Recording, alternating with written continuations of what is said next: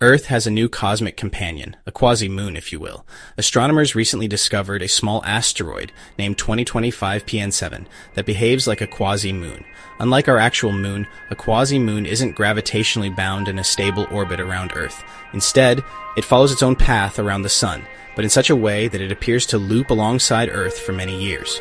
2025 PN7 is only a few hundred feet wide and was first spotted in August 2025 by astronomers using ground-based telescopes. Because its orbit resonates closely with Earth's, it seems to dance around us, tracing a corkscrew-like path as both Earth and the asteroid orbit the Sun together.